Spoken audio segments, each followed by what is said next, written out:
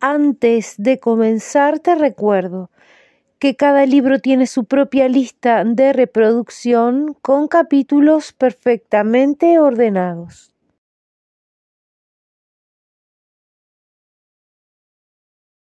Heidi, Johanna Spiri, capítulo 14, el domingo por la mañana.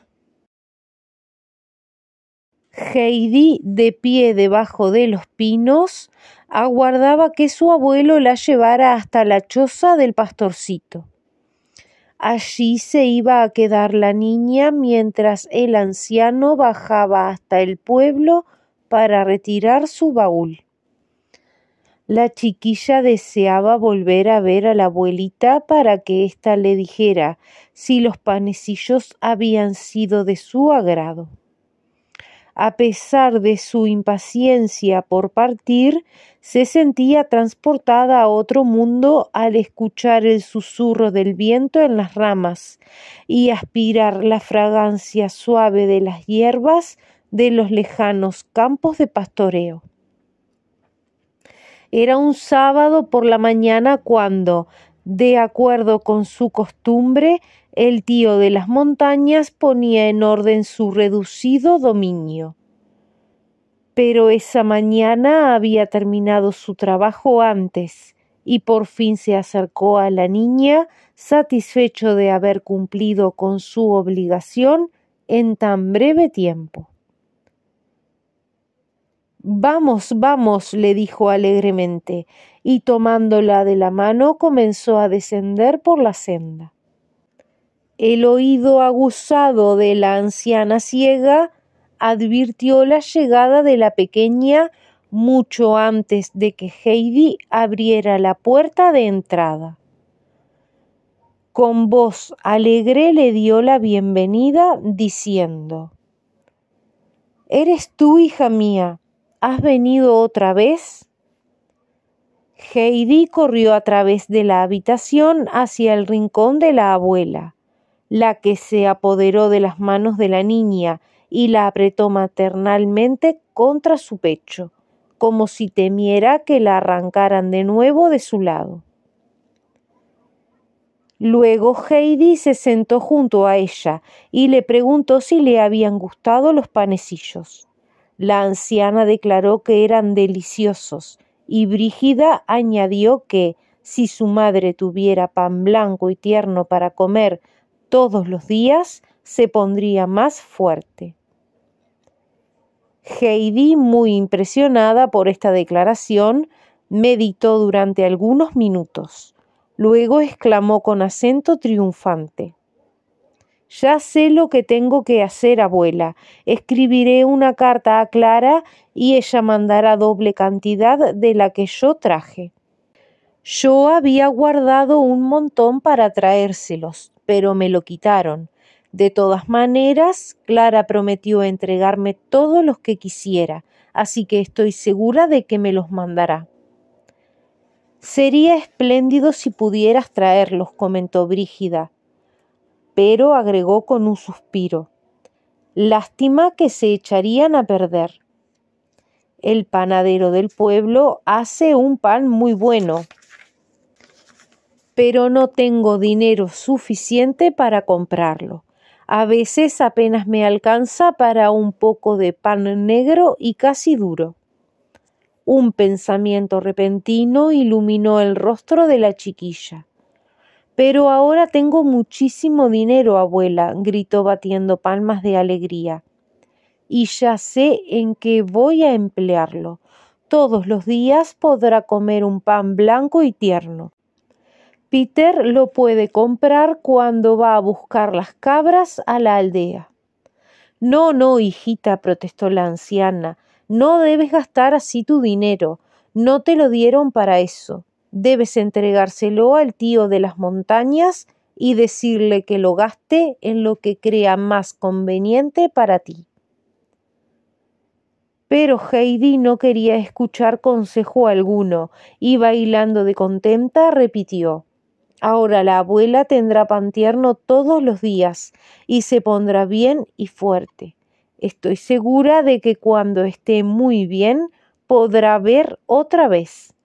Creo que la oscuridad viene cuando las personas están muy débiles. La anciana, como no quería perturbar el optimismo de la niña, no hizo ningún comentario. Heidi concentró su atención en un viejo libro de himnos, cubierto de polvo que descansaba en la repisa. ¿Sabe que aprendí a leer, abuelita? exclamó. ¿Le gustaría que le leyera un himno de su libro? Leer, gritó la anciana asombrada. ¿Es posible? Ah, si pudiera volver a escuchar uno de esos himnos, sería muy feliz. Sin perder tiempo, Heidi trepó a una silla y se apoderó del libro, que no había sido tocado en tanto tiempo que estaba cubierto por una gruesa capa de polvo.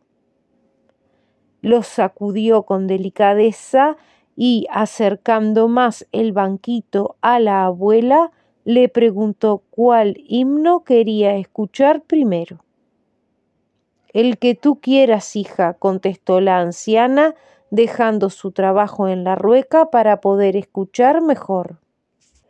Aquí hay uno que habla del sol, abuela, dijo Heidi después de dar vuelta varias páginas. Empezaré con este. Mientras leía su voz adquiría matices cada vez más cálidos al compenetrarse con las palabras sencillas pero conmovedoras del viejo himno. La anciana permanecía inmóvil, con las manos apoyadas en su regazo. Cuando por fin Heidi levantó la vista del libro, vio que las lágrimas corrían por las mejillas arrugadas de la viejecita. El rostro de la ciega tenía una expresión de alegría jamás vista antes. Léeme uno más, Heidi, solo uno más pidió. Heidi se apresuró a complacerla. Cuando terminó, la anciana repitió las últimas palabras del himno en voz muy baja. Luego volvió su rostro sereno hacia la niña. Me parece como si la luz hubiera retornado a mí, Heidi, le dijo. Brilla en mi corazón. No sabes cuán feliz me has hecho. Un rato más tarde el tío de las montañas golpeó la ventana, indicando a la pequeña que era hora de partir. Pero antes la niña prometió a la abuela regresar al día siguiente, y que, aun en los días en que acompañase a Peter a los campos de pastoreo, solo pasaría la mitad del tiempo con él para poder dedicarle las horas restantes. Heidi se sentía inmensamente feliz al poder devolver la luz a la abuelita, y esto le causaba mayor placer que disfrutar del sol entre las flores. Cuando se dirigían de regreso a la cabaña, Heidi contó a su abuelo la manera en que se proponía conseguir pan blanco y tierno para la anciana todos los días aunque la abuelita me diga que no debo hacerlo, usted me dará el dinero que me entregó el señor Sesman, ¿verdad, abuelo? Daré una parte a Peter para que compre un pan en el pueblo todos los días y dos los domingos. Pero, ¿y tu cama, Heidi? Sería bueno que tuvieras una cama bien hecha y te quedaría un dinero suficiente para comprar todo el pan que alguien deseara comer pero Heidi declaró que dormía mejor sobre el heno que en el colchón de plumas que usaba en Frankfurt, e insistió con palabras tan conmovedoras que el anciano terminó por ceder. El dinero es tuyo, le dijo. Gástalo en la forma que te haga más feliz. Puedes comprar pan para la abuela durante muchos años. Gracias, abuelito. Ahora ya no volverá a comer ese pan negro y duro. Y la chiquilla se puso a brincar de alegría, cantando como un pajarito. De pronto cayó, quedando pensativa. Sabe, abuelo, dijo después de unos minutos, Estoy pensando que si el buen Dios me hubiera otorgado todo lo que yo le pedía antes, estas cosas maravillosas no hubieran sucedido. Si hubiera regresado antes, no habría podido leer himnos a la abuelita, ni tampoco habría tenido dinero para comprarle pan. Dios hizo las cosas de manera mucho mejor de lo que yo había pedido. Es tal como me dijo la otra abuela. Me alegro mucho de que él no me haya oído antes, cuando le suplicaba con tanta desesperación que me sacara de aquella casa. Siempre le rezaré y le daré las gracias, y cuando no me conceda enseguida algo que le pido, me acordaré de lo que pasó, y sabré esperar con paciencia hasta el momento que Él crea más conveniente. Le rezaremos todos los días, ¿verdad, abuelo? Y jamás nos olvidaremos de Él para que Él no se olvide nunca de nosotros. ¿Y qué sucede si uno se olvida del Señor? preguntó el tío de las montañas tras breve pausa. Entonces nada sale bien, contestó Heidi, contemplando el rostro de su abuelito, porque Dios lo deja librado a su propia suerte, y cuando tenga penas y se queje, las demás personas no lo compadecerán porque dirán que ha olvidado al Señor que podía ayudarlo y que por eso Él no lo ampara más. El abuelo permaneció silencioso. Luego dijo Es verdad, Heidi. ¿Dónde lo aprendiste? Me lo explicó la abuela de Frankfurt. Pero, razonó el anciano casi como para sus adentros, si alguien se ha apartado de Dios, debe purgar su culpa. El Señor no ampara a los que lo olvidan. Ah, no, abuelito, uno siempre puede regresar. Lo sé porque también me lo dijo la abuela. Es como el cuento de mi libro, pero usted no lo conoce, ¿verdad? Se lo leeré cuando regresemos a casa y ya verá qué hermoso es. Cuando llegaron a la cabaña, el anciano depositó en el suelo la canasta en que transportó desde el pueblo parte de los efectos de Heidi, y sentándose fuera de la vivienda, aguardó el regreso de la niña que corrió en busca del libro. La chiquilla se sentó a su lado y abrió su tesoro en las páginas que tantas veces releyó. Cuando comenzó la lectura, el anciano la escuchó en silencio, fumando su pipa. La historia narraba la felicidad de un hombre que vivía con su padre y que cuidaba los rebaños en las colinas cercanas desde el amanecer hasta que el sol caía en el horizonte. Pero de pronto decidió que trabajaría para sí. Abandonó a su padre y se lanzó a los caminos derrochando sus energías en el mal vivir. Entonces, cuando se encontró muy necesitado, se empleó con un labrador que lo puso a cuidar cerdos. No le dio más que andrajos para cubrir su cuerpo, y apenas los alimentos suficientes para que no muriera de hambre. En su miseria, el joven recordaba las comodidades de que había disfrutado en casa de su padre y se echaba amargamente la culpa por haber sido tan desgraciado. Luego pensaba, volveré al lado de mi padre y le diré, no merezco que me llames hijo, sin embargo, déjame vivir junto a ti como un servidor más. Con esa resolución se puso en camino para regresar a su casa, pero mucho antes de que llegara a ella el padre le vio y entonces ¿Qué cree que hizo, abuelo? preguntó Heidi, interrumpiendo la lectura. ¿Cree que se mostró enojado con su hijo y le dijo ¿No te previne yo que te pasaría todo esto? Pero es mejor que escuche el final de la historia.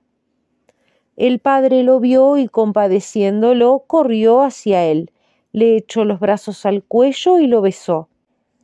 El hijo, muy conmovido, le dijo, Padre, he pecado contra el cielo y contra ti, y ya no merezco que me llames tu hijo.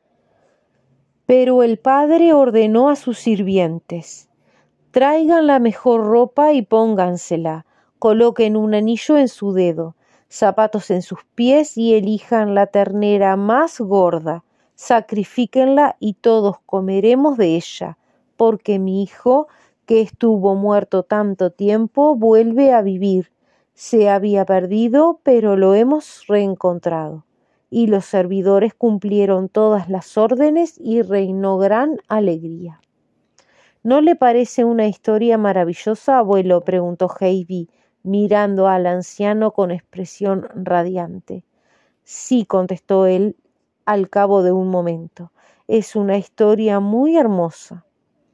Pero estaba tan grave y pensativo que la niña no agregó más. Luego apoyó el libro sobre las rodillas del anciano y mostrándole la lámina que representaba al joven vestido con ropas lujosas, de pie junto a su padre, le dijo Mire, abuelo, mire qué feliz es.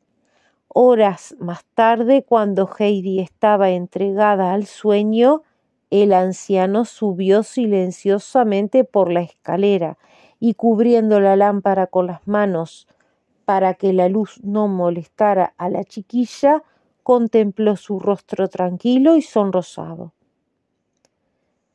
Tenía las manos unidas, pues se había dormido rezando sus oraciones, y aun en sueños sus rasgos armoniosos expresaban absoluta confianza. Durante largo rato permaneció inmóvil el tío de las montañas. Luego inclinó la cabeza y con las manos juntas murmuró Padre, he pecado contra el cielo y contra ti, y ya no soy digno de que me llames tu hijo. Dos lágrimas surcaron sus mejillas apergaminadas. Muy temprano a la mañana siguiente, el tío de las montañas estaba de pie en la puerta de la cabaña. Era domingo y se oía muy distante, pero con claridad, el repique de las campanas de la iglesia del pueblo. En las montañas, los pajaritos piaban alegremente y todas las cosas brillaban acariciadas por los rayos dorados del sol. Después de algunos minutos, el anciano volvió a entrar en la choza y llamó a Heidi, que aún no se había despertado. Vamos, Heidi, el sol ya está en lo alto. Ponte tu mejor vestido, iremos juntos a la iglesia. Era la primera vez que Heidi escuchaba esa orden, por eso se apresuró a ponerse el bonito vestido traído de Frankfurt y a bajar corriendo para reunirse con su abuelo. Cuando lo vio, se detuvo asombrada y alegre al mismo tiempo. Apenas podía dar crédito a sus ojos. Abuelo, qué bien luce. Nunca le había visto esa chaqueta tan linda con botones de plata. Jamás me imaginé que sería tan buen mozo. El anciano sonrió. Tú también estás muy linda, y ahora pongámonos en camino. Mientras descendían de las montañas tomados de la mano, escuchaban el tañido de las campanas que subía desde el valle. Abuelo, ¿la escuchas? Parece que hubiera una gran fiesta. Casi todos los habitantes de la aldea ya se encontraban en la iglesia y la misa había comenzado cuando por fin llegaron Heidi y el anciano. Entraron tratando de pasar inadvertidos y se ubicaron en uno de los bancos próximos a la puerta. Pero, en medio de uno de los himnos, lo reconoció uno de los de la congregación, que estaba sentado cerca de ellos, y llamando la atención de su vecino, le susurró asombrado. Mira, el tío de las montañas está en la iglesia. El otro alzó la vista, los miró asombrado y comunicó la noticia a su vecino. En menos de un minuto la novedad se había esparcido por toda la iglesia. Las mujeres no pudieron resistir la tentación de darse vuelta y muchas perdieron la entonación tan por completo que los directores tuvieron gran dificultad para conseguir terminar el himno de manera decorosa. Pero cuando el pastor comenzó a predicar, todos se aquietaron. Con tanta fe pronunció las palabras de alabanza y acción de gracias que toda la congregación se sintió extrañamente conmovida, como si una gran bendición hubiera descendido sobre ellos. Al final de la misa, el tío de las montañas volvió a tomar la mano de la pequeña y se encaminó en dirección a la casa parroquial mientras los aldeanos se arremolinaban en pequeños grupos fuera de la iglesia y los contemplaban en medio de toda clase de comentarios. La mayoría aguardaba la salida del anciano de la casa parroquial para ver si la abandonaba con el odio y el desprecio pintados en su semblante, o si, por fin, después de tantos años, se disponía a disculparse con el pastor. Ninguno se explicaba la causa que había traído al viejo a la iglesia después de tantos años, pero se oyó una voz que comentaba Miren con qué suavidad toma a la niña de la mano, puede ser que después de todo no sea tan malo como nosotros creemos. Eso es lo que me decía, agregó el panadero con acento de triunfo. Me preguntaba, ¿es posible que la pequeña abandone una casa donde le brindan todas las comodidades deseables para regresar junto al tío de las montañas, si éste fuera un individuo huraño casi salvaje como nosotros pensamos? Entonces le tocó el turno a una mujer que manifestó que, por informaciones recogidas de boca de Brígida y la abuela, el tío de las montañas era una persona muy distinta de la que imaginaban los aldeanos. Por fin, uno de los habitantes del pueblo sugirió que no debían permanecer alejados del anciano por más tiempo, sino que, considerándolo como un antiguo amigo que hubiera estado ausente durante muchos años, debían darle la bienvenida, confiando en todo lo que de bueno se había dicho sobre él últimamente. El abuelo había penetrado en la casa parroquial después de anunciarse con unos golpecitos en la puerta. El pastor acudió al llamado y en vez de demostrar sorpresa, le dio la bienvenida con tanta cordialidad como si lo hubiera estado esperando. Tomó la mano del tío de las montañas y la estrechó con amabilidad. El anciano, conmovido por la actitud del pastor, permaneció inmóvil y silencioso.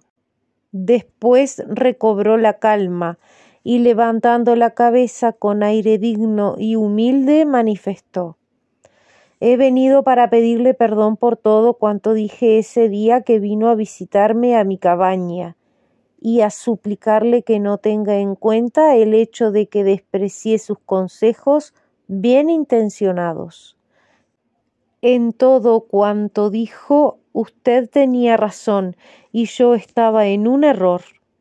Este invierno voy a seguir su consejo y bajaré a vivir en la aldea mientras dure el tiempo frío, porque, como usted dijo, la niña es demasiado delicada para pasar los meses de invierno librada a las inclemencias de los vientos y la nieve de las montañas.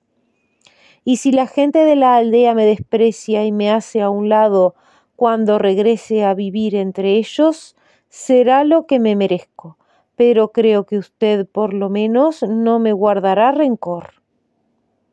Los ojos amables del cura brillaron de placer, y volviendo a tomar la mano del anciano, la apretó cordialmente. Mi amigo le dijo, nunca lamentará su decisión de volver a vivir entre nosotros. En cuanto a mí, espero pasar muchas de las largas tardes de invierno junto al fuego de su hogar. Además, la niña encontrará aquí muchos amigos. Mientras hablaba, acarició los cabellos sedosos de la pequeña. Luego acompañó al tío de las montañas hasta la puerta de la calle y a la vista de todos los aldeanos estrechó su mano con tanto afecto como si se tratara del mejor de los amigos. Apenas acababa de salir cuando ya todos los habitantes del pueblo se acercaron al anciano para saludarlo. Tantas manos se le ofrecían que el tío de las montañas no sabía cuál estrechar primero. Trató de manifestar su alegría por esa bienvenida cordial con palabras sencillas, y cuando afirmó que ese invierno se proponía vivir en la aldea, todos se alegraron, pues recordaban que muchos años atrás había sido uno de los hombres más queridos de la aldea. Muchos de ellos hicieron parte del camino en su compañía, y antes de que el anciano y Heidi iniciaran el ascenso a las montañas, debió volver a asegurarles que ese invierno se instalarían en la aldea. Cuando por fin quedaron solos, el tío de las montañas se dio vuelta repetidas veces para contemplarlos con tanta alegría dibujada en su rostro que Heidi exclamó maravillada. Abuelo, jamás lo había visto tan buen mozo. El anciano sonrió al oír ese comentario. Luego sus ojos oscuros se tornaron mansos y suaves. Lo crees, hijita, hoy soy más feliz de lo que merezco. Hacer la paz con Dios alivia el corazón del hombre. El Señor fue misericordioso cuando te envió de nuevo a mi lado. Ya habían llegado a la choza del pastor y con gran sorpresa por parte de Heidi, el mismo anciano se encargó de abrir la puerta y él también penetró en la cabaña. Buenos días, abuela, exclamó el tío de las montañas con acento alegre. Opino que esta choza necesita unos cuantos clavos más antes de que el viento del invierno comience a soplar. Dios bendito, ¿es posible que sea el tío de las montañas? exclamó la anciana muy impresionada. Pensar que he vivido para conocer este día. Dios sea alabado, por fin puedo agradecerle todas sus bondades. Y extendió dos manos temblorosas que el anciano se apresuró a estrechar entre las suyas con gran emoción. Y ahora permítame que le pida algo más algo que brota desde lo más profundo de mi corazón. Siguió la ciega sin soltar las manos del tío de las montañas. Si alguna vez le he causado algún mal, no me castigue privándome otra vez de la compañía de la pequeña. No me la quite hasta que me muera. No sabe lo que ella significa para mí. No tenga temor, abuela, dijo él con gran suavidad. Dios mediante viviremos juntos muchos años más. Momentos después, Brígida lo llevó aparte y mostrándole el sombrero traído por Heidi desde Frankfurt, le explicó que se lo había regalado, pero que no deseaba quedarse con él. El anciano echó una mirada en dirección a Heidi, y una expresión de alegría juguetona brilló en sus ojos. Luego contestó El sombrero es suyo. Si la pequeña prefirió regalárselo, guárdelo para usted. Por supuesto, la honesta Brígida se mostró encantada. Vale por lo menos diez francos, exclamó. ¿Cuántas bendiciones trajo la niña desde Frankfurt? Si hasta pienso mandar a Peter allí. ¿Qué le parece, tío? Los ojos del anciano brillaban cuando le contestó que creía que no causaría ningún perjuicio al muchacho, pero que le parecía mejor aguardar a que la oportunidad se presentara sola. En ese momento apareció Peter. Se veía que acababa de correr un largo trecho, pues permaneció varios minutos respirando trabajosamente, demasiado fatigado para poder hablar. Luego puso en manos de Heidi una carta que acababa de llegar para ella. Asombrados, todos se reunieron alrededor de la mesa, mientras Heidi abría la carta y la leía en voz alta sin dificultad alguna. Era de Clara, que le escribía para decirle que desde que ella se marchó, los días le parecían tan largos y aburridos que apenas podía aguardar la llegada de la noche, y que su padre le había prometido que en las primeras semanas del otoño, después de pasar un tiempo en las aguas termales de Ragaz, irían a visitar a Heidi a las montañas. La abuela también los acompañaría, agregaba, y mandaba decir a Heidi que le enviaría café y panecillos para la otra abuelita. Estas noticias maravillosas les proporcionaron tantos detalles para comentar que la tarde pasó con rapidez. Por fin el tío de las montañas se puso de pie y estrechó una vez más la mano de la anciana mejor que todas esas novedades maravillosas es volver a estrechar la mano de un viejo amigo, manifestó la ciega emocionada. Brinda paz al corazón y una alegría que no se consigue con nada más en el mundo. ¿Volverá mañana con la niña? El tío de las montañas así se lo prometió, y luego, tomando de la mano a Heidi, marcharon de regreso a su cabaña. A medida que ascendían, oyeron el tañido de las campanas a sus pies, en el valle, dulce y sereno en la calma del atardecer.